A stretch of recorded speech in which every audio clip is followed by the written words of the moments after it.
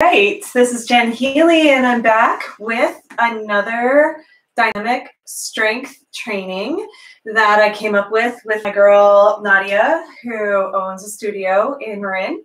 And she was looking for something new for her students. And these are all sequences that I've done separately, but we're putting together putting them together for a nice routine.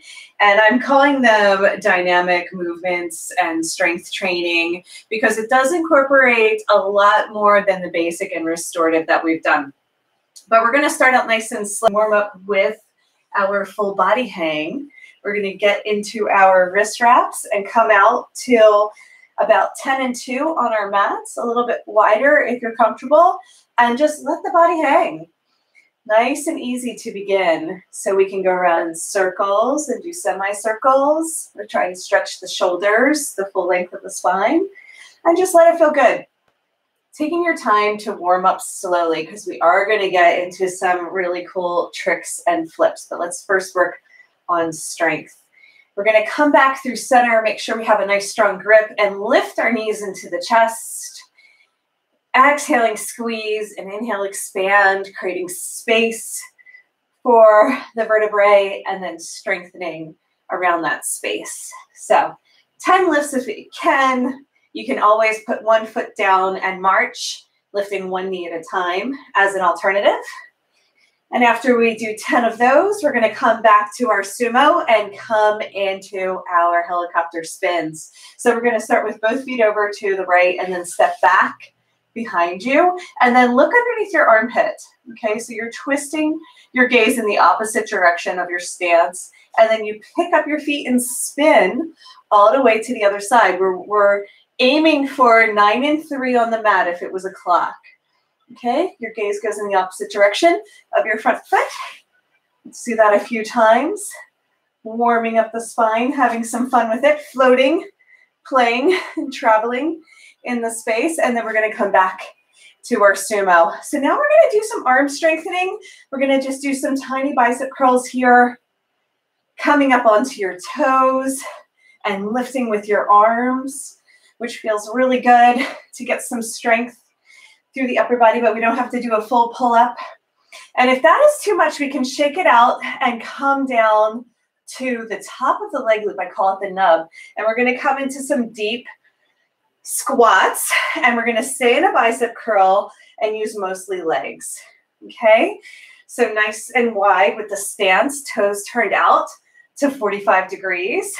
And then if you want to do more arms, I'd say come all the way down and behind and then do some lifts here. So you can come down nice and low and use mostly arms to bicep curl up. So do 10 of those if that feels good to you. And whenever you need a break, we're going to walk it out to the back of the mat and shake it out for a moment. If your hands get tired, that's pretty normal. So we're going to go into some TRX moves at the back of the mat. We're going to first use our leg loops in our hands. I like to use a wrist wrap or a wrist wrap twice, making an X. So decide which one you want to do. If you can make an X over your wrist, so now it's completely bound and then grab, we're going to lean back and we're going to drop the hips. From here, you have to keep tension on the leg loops the whole time. We're going to come into a seated position, almost like a child's pose, and then lift and pull, arch and open with a bicep curl. Exhale, lower. 10 of these if you can. Just using the leg loops in your hands whatever grip is comfortable.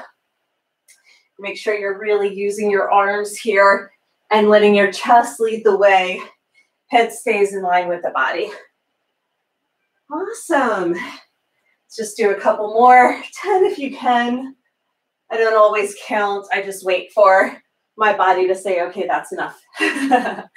so from here, we're going to go right into our standing sequence. So you can stay holding on to the top of the leg loops or you can go for the handholds. What we're going to do is push the swing forward and create a little bit of a rhythm where we time it to get the right foot up. You want to keep it bunched up at the ankle as much as possible. And then we're just going to sink our hips forward and back. First, start out nice and slow. Okay, we've done a lot of standing sequences previously, but we're going to add in some fun dynamic movements along the way. Now we can always switch to holding on to the leg loops, which requires a little bit more balance, maybe go a little bit further, sinking the hips all the way back. Then inhale, bicep curl, lift and arch from the heart, press up onto the back toes, onto the ball of the foot, and come into a bigger version of splits, only as far as it feels good for today. Okay, exhale, leaning back, hang here and stretch through the spine, maybe wiggle the hips a little from side to side if that feels good. And then inhale, bicep curl lift, splits both legs straight, and then we're gonna come to neutral. When we come to neutral, we can come into our forward lunge, moving a little bit faster than we normally do into a V, and then roll the back heel down into a side angle. So we press the back of the head into the swing and open it up. This might be as far as your people go. So from the back edge of the foot all the way to the fingertips is a nice long line of energy. You can always straighten the front leg, maybe grab for the toes and open it up, or just stay here and get a nice stretch through the hips. When you're ready to come up, reach up for the swing. Both hands grab, turn your heel up. We're coming back into our forward lunge, and then we push the swing down to the ankle. I like to push and pull in the space here so you can lift, pulling back on the swing, and then you can press, getting a good stretch through the Achilles. I like to flex the toes back and then even wiggle a little bit from side to side. I call it steering. Okay, pushing and pulling in the space, whatever feels good. You keep the head lifted. Let the heart sink down towards the knee, but the back stays arched. We're not going to round in this version. Okay. There's also the option to coming into some twists, hooking the forearm and gazing back behind you. With one hand, one arm or the revolve twist, go the opposite way. Keep it even. So that's just our warm-up lap to get the legs open. We're gonna go back into a wrist wrap. Bend the knee out to the side. I like to call it a floating pigeon. So we can either just stand and keep our foot at the back of the mat or we can float. Knee is pressing down and you can keep the foot flexed if that feels good. You can hook that knee over the foot. I call it I Dream of Jeannie and play in the space. You can tilt the hips out to the side, alternate, maybe straighten the right leg, getting a deeper stretch. And then we're gonna get both feet in there. It's okay if you swing if you have space. Otherwise, you can just bring your foot down to the center of the mat and steady yourself under your plumb line and then come back in. Okay? So knees out to the side, feet together. Uh, it's a version of flying monkey. We can bank a little from side to side again if that feels good. And then we can bicep curl, lifting, keeping the hips, hips pressed forward, getting some good strength in the upper body. Okay. Now from here, we have a few different variations we can do. We can straighten the legs. I'm going to go ahead and bend both knees. I'm going to get the top of the left foot into the swing. So my knee, my left knee comes through the center. I'm on my shin, and then I slide into Nataraj. Right foot lands in the center of the mat. You can bend both knees and hang here. So your full weight drops down and you're kind of pressing back so your right knee stays in line with the ankle. You don't want your right knee to come forward and strain the joint, okay? Now, if your hands get tired, which they often do, holding on for so long, you can hold on to the top of the leg loops as well and go into a deeper stretch. Wherever you are, let it feel good. And then I usually just slide right down into the leg loops there, press into boat pose. You can come out for an airplane and get some good arm strengthening in here, both straight out in front of you, pressing down. All the legs are straight, all the arms are straight, and then I slide right into an easy pose. Let's rest in our airplane. Okay, my hip stays right over the ankle joint. And I enjoy flying from side to side, just having some fun with it. When I want to come out, I'm going to press all the way up to stand and just let my toes face the sky and my leg comes out. Let's go with the second side. Okay, we're just going to repeat that whole sequence one more time. Holding on to the handholds. I'm going to give the swing a little push. I'm gonna practice timing it so I can get my left foot up there. When the swing goes forward all the way, that's when you wanna lift your leg, okay? And then everybody can get your foot in there. So I just press forward and back with my hips, and I can stay upright for this version where it's nice and easy. You don't have to go too far, but you can get a really deep stretch through the legs, keeping the toes flexed back. Or I can switch to holding onto the top of the leg loops and go a little bit deeper, a little bit further. Both legs straight, both arms straight, and then inhale, bicep curl, lift and arch. Press, press, press all the way forward as far as possible. And then exhale, sink back. Inhale, press, lift and open. Nice bicep curl there. Really strengthening the arms in this sequence. Exhale, lean back. When you lean back, you can wiggle the hips a little from side to side. That feels really good. Inhaling, lift. Exhale, press. Slide into a forward lunge by bending the left knee. Stay up onto the back toes for this version. All toes are pointing forward. Then we can come into a V. Think of it as like a victory pose where we lift the chest, open the arms, pressing the swing away. Then we slide into elbow, left elbow, left knee, roll the back heel down, press the back of the head into the left side of the swing, and your arm can come out on a diagonal if you have the balance. Otherwise, you can stay holding on to the swing, the top of the swing, wherever you can reach, and to come into the full standing splits. You can extend the leg. I call it revolver. You can twist and open it up, but only if it feels good. Just reach towards the foot unless you can grab. Come on up, hold on to the swing with both hands. Turn all the toes forward once again. Come back to center. Press the swing down to the ankle. And I push and pull in the space. Inhale, lift. Lean back. Exhale, press. Let's do that a few times. Really opening up the back of the legs. Keeping the alignment of the spine. Moving from the arch behind the heart. Head stays in line with the tailbone and then steer from side to side. Oh, such a good stretch for the back of the calf. All the way into the IT band, actually. Really big opening there. Okay, and then we're gonna hook with our forearm and twist, standing twist. Looking back towards your thumb.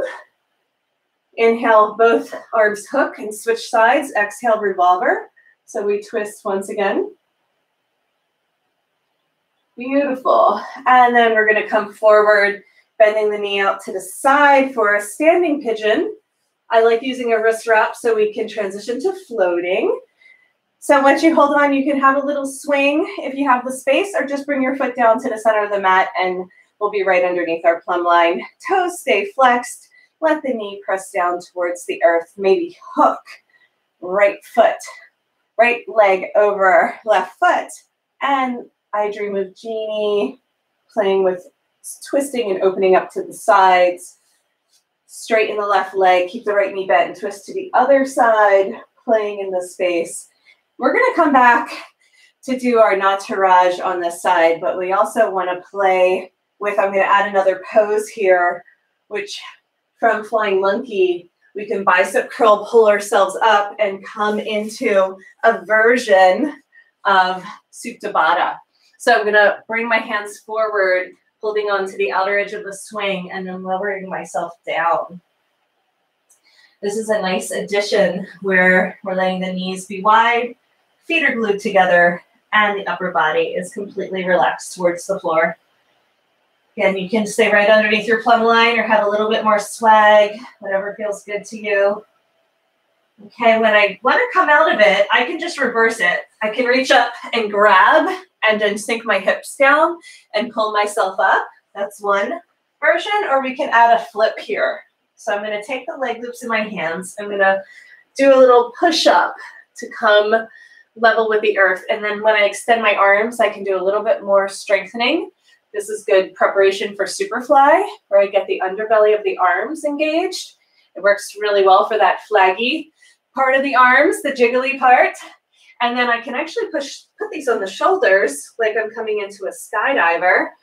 Bank from side to side. We do this from another variation that I'll show you in a little bit here.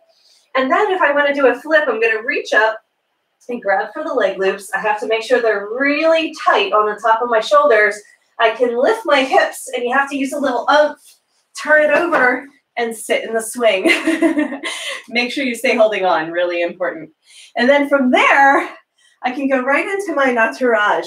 I'm going to sink my hips back. Let's do second side. So the right foot, the top of the right foot finds the inside of the swing. And then I can transition left foot to the center of the mat. I can go back to holding on to my hand holds, sinking the hips down, bending both knees. Or I can use the top of the leg loops. Just pick your favorite variation.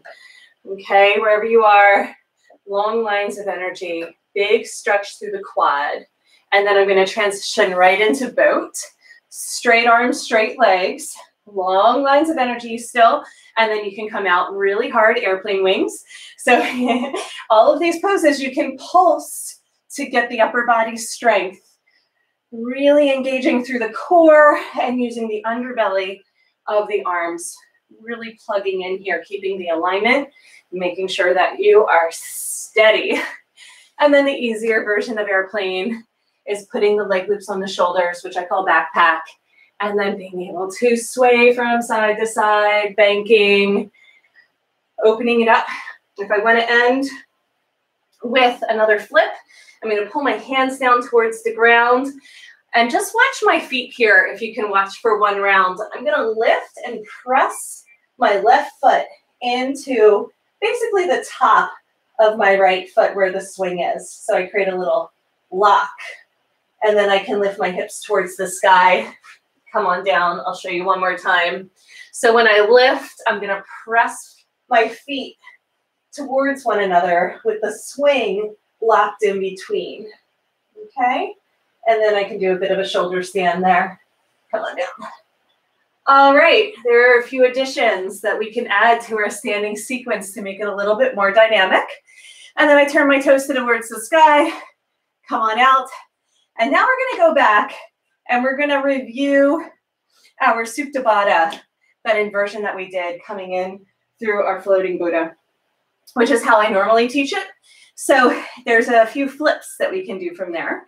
So we're gonna come in through our sumo, get our leg loops on at the ankles, and just take a little pause. so I have this broken up into three different sequences. That was our standing sequence. Now we're going to go into variations of Supta Baddha. And then we're going to end with some side spins, revisiting our high flyers, but also checking out our black swan for sit and spin. These are all the things that we did the other day, and I just thought it'd be cool to put it together in one video instead of having to search for these different poses in seven different videos. So just putting it all together it feels really good as a sequence, as a routine. So from my floating Buddha, I'm going to come on back to center. I get into Supta by bending the knees, bringing my feet together. I slide up the leg loops with my hands as high as possible for flying monkey. Push the hips up and lean back. So it looks really similar to what we did from the standing sequence. Then we bicep curl up to sit on the ankles. I'm going to come through. I have to keep the swing behind me at first, and I get in front of the leg loops with my arms. And then I lower myself down. So, et voila, I'm in the same position, but now using the leg loops, and the main swing is free. So we can always come out of it by reversing. You just reach up, grab onto the leg loops, and pull yourself up. That would be kind of the easier version. then there are some flips here. First flip that I'll show you is holding on to the swing and you have to twist it overhead and pull yourself up. Okay, once it's overhead, then it looks really similar to what we did before. And there's a flip called the full Nelson where you put it underneath your, behind your neck, then underneath your shoulders, and then you hold on. You have to tuck and kick. And when you come to sit, you can wind up with the leg loops at the knees and make sure the swing is behind you. That one's a little bit challenging. That's why we call it a more dynamic movement. I'm going to come back into Supta Baddha and show you a couple others that are really fun. All this can, all these can be done with the leg loops spread out as well. So when I do a more restorative version, I spread the leg loops out over the heels and then the full length of the calves. So I'm gonna come down again. So without using the swing, I'm gonna reach up for the leg loops as high as I can. If I can grab what I call the nub, it's really helpful because it's a great handhold. So from here, I stay arched to open up the chest, and then I tuck, pull, flip, and kick, and I wind up sitting in the swing. So this is all part of the acrobatic sequences that I teach. It's not normally in my restorative and therapeutic, so I don't do them all the time. But there is another really cool flip here called kamikaze that I want to show you guys. We can do this with the leg loops on the arches of the feet, but let's try them at the ankles, okay? First thing we have to do is create an X so the leg loops don't slide up, okay? If they slide up, then it's gonna be hard to flip. So there's a couple different versions, but we wanna reach up as high as we can, like we did for our flying monkey, but the leg loops are X'd, and then we're gonna lean forward, go through center, and flip. Now, if you try it on the arch of the foot, you have a little bit more control and support. So let's try that. So you either X the leg loops so they stay on or push through the feet. And this way, when you inhale, bicep curl, lean forward. It's a big split. Pull the feet together, hips overhead, and then come to sit. Really fun. Okay, you can do that kind of like an infinite number of times, which is also the really cool part of the sequence is you can keep flipping through center. Let's take a little break here. Try that a few more times. You can always pause the video and come back to it because it is a little tricky.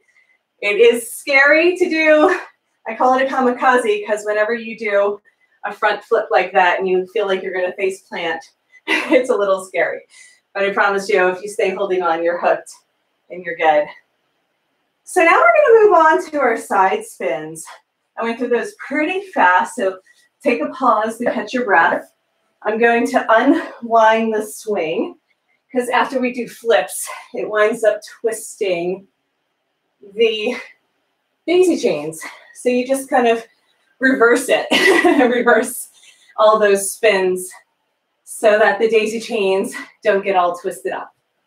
Okay? So I'm just throwing the leg loops through center and turning the swing over until these are straight again. Okay, so now what we want to do is go back and revisit our standing sequence. And we're first going to add another flip. So these are called uh, my inverted splits. I like to start with the leg loops in my hands and just give the swing a little kick like we've done before. Time it to get the right foot up there. Now make sure it's really bunched up, right? So you really want to make sure that it's on the arch of the foot and bunched up. And then we're going to practice just lifting the hips. Once you lift the hips, you can straighten the leg. You can add these on to the standing splits like we did before, but just see if you can lift. You can use a little momentum to kick up. So to do these, you have to lift the hips, press them up the whole time, keep the legs straight, keep pushing into the swing. Otherwise that the fabric will come off and then come on back down. There's a whole sequence we can do from here, but just practice the standing splits and then next week I'll show you guys how to come into the soar and then the inverted angel wings. But it's really fun to get some momentum and come all the way up you have to stay arched and strong through the arms. And then you can actually switch legs, but I'll show you that next week and try the other side and coming into splits. Okay, since that's all I show, showed Nadia, that's all we're gonna do today. And then when you're ready to come down, just come to sit. We can come through our Nataraj sequence then, but we're just gonna do the inverted splits one little bite-sized piece, and then you'll have something to look forward to for next week. We are gonna come to stand at the center of the mat and add in some side spins. So I usually like to start out showing, showing you these from standing. So we're gonna go ahead and push the swing down to the waist. When you lean back, your feet come forward so your bum stays right underneath your plumb line. Wrap just the right leg around. When we wrap the right leg around, we can stand in the center of the mat again and extend. Now, when we extend the leg, you roll the belly forward down towards the ground. So most people go back, right? So again, just think of like face diving, the face plant that we're doing in all these poses. Long lines, so the back leg stays straight. You want your body level with the earth to do the spin. You can hold on with one hand or both hands. The leg loop is there as a little training wheel. And then your standing leg is going to go back behind you, over your head, and then forward to the front of the mat. Okay? If you keep leaning forward, that'll happen with grace and ease. if it doesn't come gracefully yet, just keep practicing it until you smooth out the edges. Because all we're doing is using the pivot points to create the angular momentum. Let's try a second side. Hook the left leg, right foot in the center of the mat. You're pointing your toes to the right to roll your belly down. Once you roll your belly down, you can hold on to the leg loop. That'll be your little training wheel. Let your head be level with the earth so you can lift your back leg, pick up your standing leg, spin it through center, and then come to sit. Okay, let's do it a little bit faster now that we got the movement down. I'm gonna hook my right leg, come to stand. This time I'm not gonna use my training wheel, I'm gonna line it up, get set up, and then I'm just going to spin using the momentum. Okay, second side. Left leg hooks. Come to stand, keep the legs straight, that's key, and level with the earth. I lean forward, spin my leg through center, and come to sit. So we're gonna use that flip to get into Jedi kicks, okay? There's one more side spin before we go there. That's really fun that I wanna show you, and that is through Black Swan. And I'm not gonna do the whole sequence, I'm just gonna uh, expedite the process to get you to the sit and spin. We'll end with the Jedi kicks. So Black Swan first. So we come into forward folds to get into our Black Swan. We push the swing down so it hits the legs. Press the hips forward. Arms come down. And then I'm going to immediately wrap my right leg outside in. And now from standing splits, I'm going to come into my twist. Right leg, right leg, right arm lifts up. Reach back behind you to grab for the swing. Turn your toes out to the side and you spin to a half moon. Okay, so like I said, I'm moving a little bit faster. I'm gonna reach up, grab for the top of the swing with both hands. I'm gonna come to a cross-legged position, hammock. I'm gonna bicep curl and spin out. Whee! So that's a really fun side spin that you can add to the Black Swan sequence. Let's go to the other side. We have two legs, so we get to try it again. First, we come into our forward folds. Left leg is gonna lift, hook outside in, straighten the leg towards the sky, standing splits, and then we add a twist. So left leg, left arm, that's how we remember which way to go. Reach for the back edge of the swing. We're gonna swim out to half moon. You just turn your toes out to the side and you use the momentum. For this version, we're just gonna climb up to the top of the swing. We're doing a faster version. I'm gonna hold on tight, and then from there, I'm gonna cut, kick into hammock. If you wanted to come into a bigger hammock, I actually press my foot into the swing to get there. Otherwise, cross the ankles. You're gonna bicep curl and spin through center. And come on out. So those are the side spins. Let's sit and spin. Really fun. All righty, the grand finale. Again, we're going through these really fast, so you can always pause and try it again. Visit the back the Black Swan sequence in totality if you want to take that whole bit, that whole routine nice and slow. But from here, what I want to do is come into a high flyer. That is our inversion with the swing at the waist. So I'm going to wrap both legs around. Even coming into high flyer, is a pose in itself. What I want to do is learn how to use the pivot points at the hips. So I'm going to do some big sit-ups, reaching for the toes, getting your core strength, making sure that you have the ability to open up the legs and drop the hips. Okay, I'm going to do that one more time, a little bit slower. So legs stay straight the whole time. I reach up, grab for the ankles. I hold on to the swing. So right now my tailbone faces the sky, and then my tailbone is going to face forward and then down towards the ground. Okay, and therefore when we keep the straight, we're just using the pivot points. It's really fun. All right, let's add in our side spins. I'm going to go ahead and use just one leg loop. Let's use the, um, the right one for you first. I come forward. Remember, we come forward in all these poses. So I'm going to lean forward, spin out to the side. My top leg is going to go through the center. I have to grab the swing, and now I'm in my side spin. I release the hand hold and come through center again. Very cool. Now that was very, very, very slow motion. It's actually harder to do it slower. So I'm going to do it a little bit faster on the other side. Show you one more time. I come through my high flyer. Swing is at the waist. I wrap my legs around straight. Big sit up. Pull yourself up. High skydiver. We're not using the leg loops for this one, so they can just stay of the way as much as possible. Okay, I use a wrist wrap. I lean forward. Leg goes through center, grab for the swing, and slow the momentum for a second. So my foot does not touch down for these versions. You can always touch it down and it looks just like our side spins.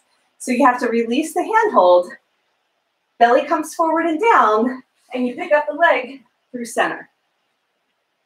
Okay, now we're gonna piece all that together for Jedi kicks and do it quickly.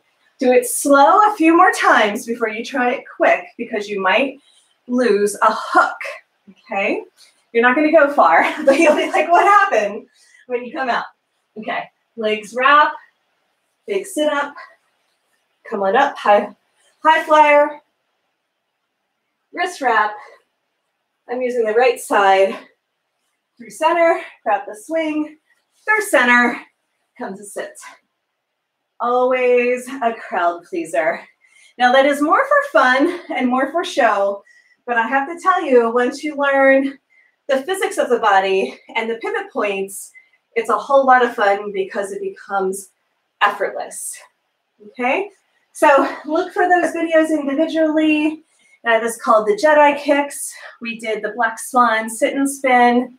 We went into inverted splits. We went into Supta. We did our standing sequence. And what else did we do? Oh, we did the full body hang to begin. This is Jen Healy. You can find out more about my program at aerialyogaplay.com. You can also look up the AYRx online for my online courses. That's ayrx.online. And I look forward to seeing you next time with some more dynamic movements and strength training. Bye for now.